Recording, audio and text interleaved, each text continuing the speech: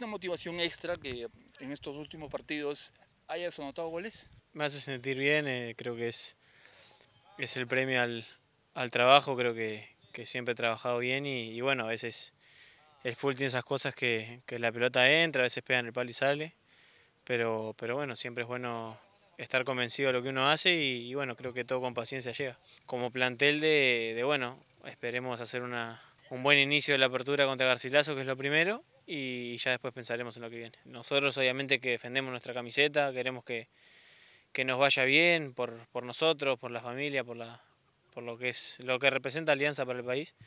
Y bueno, esperemos que, que esa noche estemos iluminados, podemos tener una gran noche y, y poder pasar de fácil. Lógicamente que eso le da un colorido extra al, al fútbol, otro ambiente, otro, otro clima que, que obviamente que al jugador le, le gusta, le encanta.